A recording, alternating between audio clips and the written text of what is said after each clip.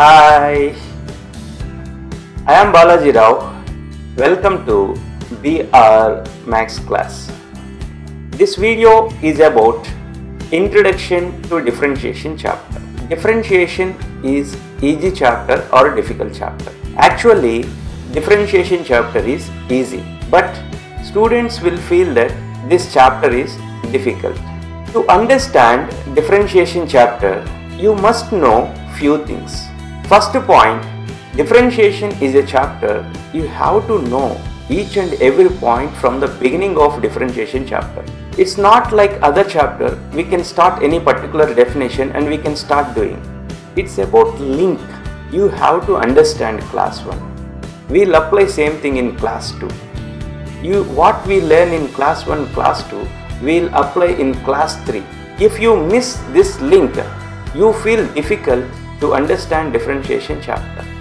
So you must follow the classes one after another to understand differentiation chapter. A particular definition in the middle of differentiation chapter you don't know means later definitely it will be useful.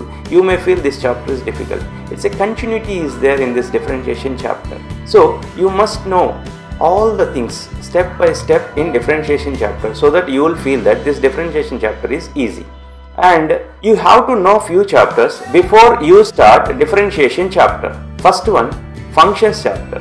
You must know about function and various types of functions like what are trigonometric functions, what are inverse trigonometric functions, greatest integer function, modulus function. You must be good in different functions chapter so that you feel that differentiation chapter is easy. Another most important thing is you must be good in trigonometry chapter. We will use this trigonometry formulas very frequently in differentiation chapter. If you are not good in trigonometry, definitely you are going to feel this chapter is difficult. So be good in functions chapter and learn all the formulas of trigonometry so that you feel that this differentiation chapter is easy. To understand geometrical meaning of differentiation, you must know about limit of a function. So we'll start this differentiation chapter with the first class what is limit of a function. And now from now onwards until this differentiation chapter is over I'm going to make a, a sequence of videos continuously and I'll release these videos on Wednesday and Saturday. If you like this video please press like button below. If you are not yet subscribed to my channel please subscribe now. I'll see you soon in the next video. Until then, take care. Bye bye.